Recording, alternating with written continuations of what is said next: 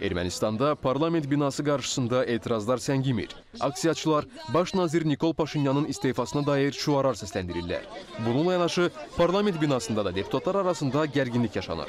Hətta vəziyyət o yerə çatıb ki, Ermənistan parlamentinin spikeri Alen Simonyan ilə kütləvi informasiya vasitələri nümayəndələri arasında fikir ayrılığı yaranıb.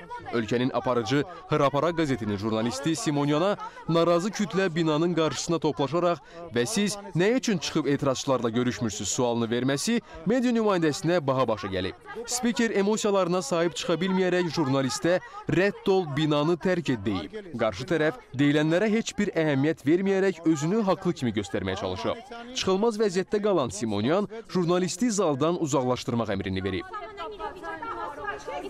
Media nümayəndəsinə qarşı güc tətbiq edilərək çıxarılması ciddi narazılıqlara səbəb olub. Bu arada Nikol Paşinyan hökumətin iclasında sərhəddəki son hadisələr zamanı Ermənistan silahlı birləşmələrinin 135 hərbiçisinin öldüyünü, çox sayda yaralının olduğunu etiraf edib.